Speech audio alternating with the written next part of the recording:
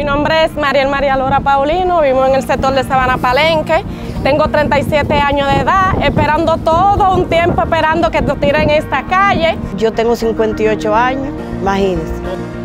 Esto es lo que nosotros tenemos, es una gloria que nos ha dado el presidente Abinader. Y estamos muy agradecidos. Estamos muy contentos, pero vengan muy agradecidos de que ya la tiraron. Feliz nos sentimos. Oh, nosotros no dormimos. Nosotros pasamos en vela la noche esperando esto. Y va a ser mejor porque ahora no van a tirar a la calle porque ya van a seguir asfaltando los callejones. Ministerio de Obras Públicas y Comunicaciones, cercano a la gente.